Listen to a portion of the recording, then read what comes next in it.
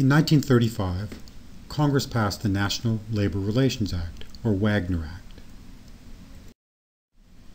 Its core clause guaranteed workers the right to organize and to engage in collective bargaining with their employers. Passed in the depths of the Great Depression, the Wagner Act was designed to minimize demands on the federal government and to enable workers to help themselves.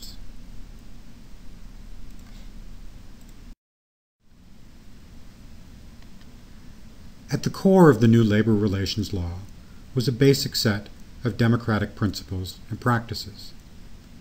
That employees choose a union to represent themselves, that employers be required to enter into collective bargaining with that union, and that employees covered by the resulting agreement be required to join the union. In 1947, however, during a Republican backlash against the New Deal, Congress passed the Taft Hartley Act, which undermined the rights guaranteed a decade earlier. Foremost among its provisions, Taft Hartley allowed individual states to retreat from the basic principle of democratic representation.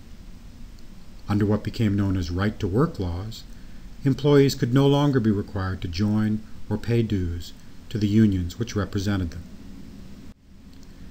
These laws spread initially where labor was weakest and where bottom feeding states were determined to compete by lowering labor standards and labor regulations.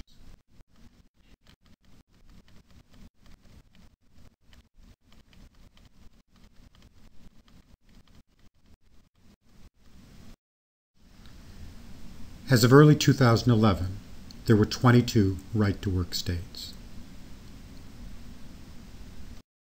In the wake of the 2010 elections, right to work bills have been filed in 16 more states, shown in gray here and including Alaska and Hawaii.